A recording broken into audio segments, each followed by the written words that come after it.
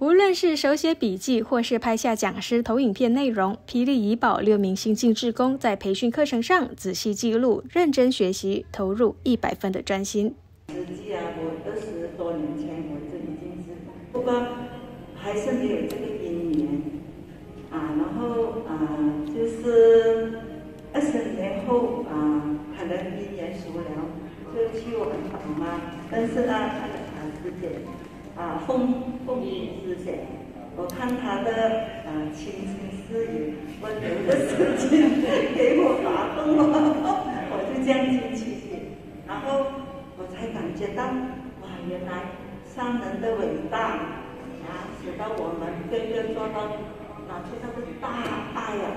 慈济缘起，手语教学，礼仪之美。访视工作注意事项等等，慈济的精神理念，每一项都是重要的职工守则。就我参加这是呃慈济的访视，我是以为是一件很很简单、很容易的事情。经过我参加了这样多次，我才知道，呃，要了解一个感恩度是需要用爱心和观察。来跟他们接触，因为有时我们有时说话是很直接的，可能会呃令他们受伤。谢谢谢师兄的提醒。我学佛很多年，可是我并不是很深入的，尤其看到师姐们的那种的温柔啊，真的学习到很多。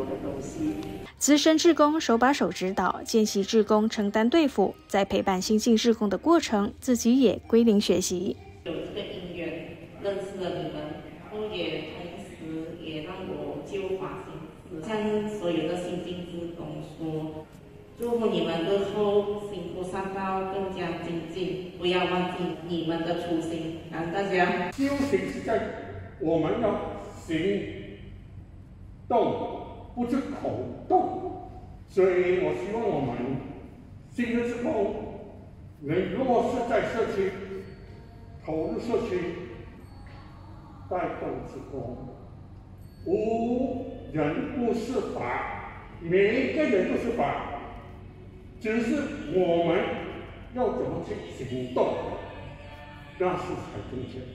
四天的新进职工培训课程，丰富的课程内容，期望职工勇于承担如来家业，在菩萨道上精进，弘法利生。大爱新闻曾国仪、丁志兴、莫世元，马来西亚报道。